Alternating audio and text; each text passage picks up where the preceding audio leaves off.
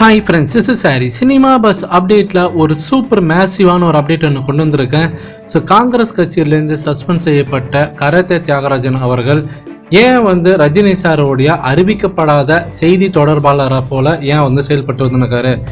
கிட்டத்தட்ட அரசியலில் ரஜினி சாரோடைய பிஆர்ஓ மாதிரி தான் அவர் செயல்பட்டு வர்றாரு அப்படின்ற மாதிரி விமர்சனம் அவர் முன்னாடி வைக்கிறாங்க. இது சம்மந்தமாக லேட்டஸ்ட்டாக பார்த்தீங்கன்னாக்கா ஒரு இன்டர்வியூல வந்து அவர் பேசியிருக்கும் போது ஒரே ஒரு விஷயம் தான் சொல்லியிருந்தாரு.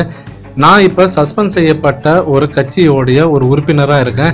இப்போ நான் யாரை பற்றி வேணாலும் பேசலாம். நான் யாரை பற்றி வேணாலும் விமர்சிப்பேன். யாரை பற்றி வேணாலும் புகழ்ந்து பேசுவேன். அதை பற்றி இனிமேட்டு யாரும் கேட்கக்கூடாது ஃபர்ஸ்ட் ஆஃப் ஆல் ரெண்டாவது அடுத்தது காங்கிரஸ் கட்சியில் என்னை மறுபடியும் சேர்த்துக்கிட்டா கூட நான் சேரணுமா கூடாதான்றதை நான் தான் முடிவு பண்ணுவேன் அப்படின்ற மாதிரி சொல்லிருக்காரு.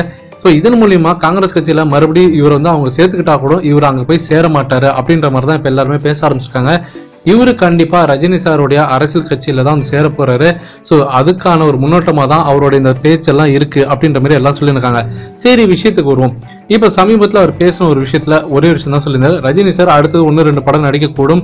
அதுக்கான வேலைகளும் அவர் ஈடுபடுவார். ஆனால் அதே சமயம் அடுத்த வருஷம் ஸ்டார்டிங்லே கண்டிப்பாக முழு நேர அரசியலில் ரஜினி சார் தீவிரம் காட்டுவார். அதற்கான ஏற்பாடு இப்போ முழுமையாக நடந்துகிட்டு வருது அப்படின்ற மாதிரி சொல்லிருக்காரு.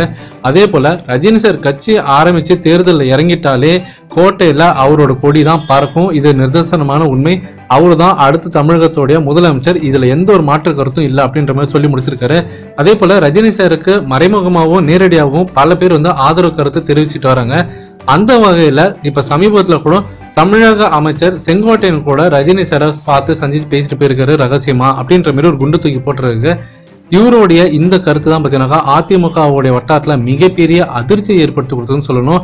அதே போல அதிமுக அமைச்சர் சில பேர் என்ன சொல்றாங்கன்னா எதுக்கு இப்ப சம்பந்தமே இல்லாம இவர் இந்த மாதிரி பேசின்னு வர்றாரு? இவர் வம்பா அதிமுகவில் இருக்கிற அமைச்சர்கள் வந்து ரஜினி சார் பக்கம் இழுக்க பாக்குறாரா? இல்ல இவர் சொன்னது உண்மையாலுமே நடந்திருக்கா? அப்படின்ற ஆராய்ச்சியில தான் இப்ப ஈடுபட்டுன்னு வராங்க அதே மாதிரி செங்கோட்டையனுக்கு நெருக்கமா இருக்கிறவங்க எல்லாருமே பார்த்தீங்கன்னாக்கா இதுக்கு வந்து மறுப்பு தெரிவிக்கவே இல்லை.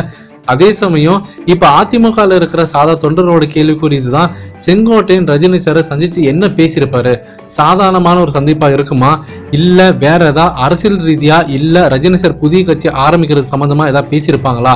ஏன் இப்ப திடீர்னு அவரை போய் சந்திச்சு பேச வேண்டிய அவசியம் என்ன? அப்படின்ற மாதிரி எல்லாம் கேள்வி எழுப்பியிருக்காங்க. ஸோ ஃபேன்ஸ் நீங்க கீழே கமெண்ட் பண்ணுங்க. பல நாட்களாவே நிறைய பேர் இந்த விஷயம் சொல்லியிருந்தா இருக்காங்க ரஜினி சார் கட்சி ஆரம்பிச்சா அதுக்கப்புறம் பாருங்க. எந்தெந்த கட்சியிலேருந்து யார் யாரெல்லாம் வராங்க பெரிய பெரிய தலைங்கள்லாம் வரும் நீங்கள் எதிர்பார்க்காத சில பேர்லாம் கூட அதில் இருக்குது அவங்கெல்லாம் வந்து சேருவாங்க. ரஜினி சார் கூட கண்டிப்பாக ஒரு மிகப்பெரிய ஒரு அதிர்வலை ஏற்படுத்தி கொடுக்கும்னு சொன்னாங்க எல்லாருமே. அது இப்போ கொஞ்சம் கொஞ்சமாக நடந்துகிட்டு வருதான் நான் சொல்லுவேன். எனக்கு அப்படி தான் தோணுது. உங்களுக்கு எப்படி தோணுதுன்றதை கீழே கமெண்ட் பண்ணுங்க ஃப்ரெண்ட்ஸ்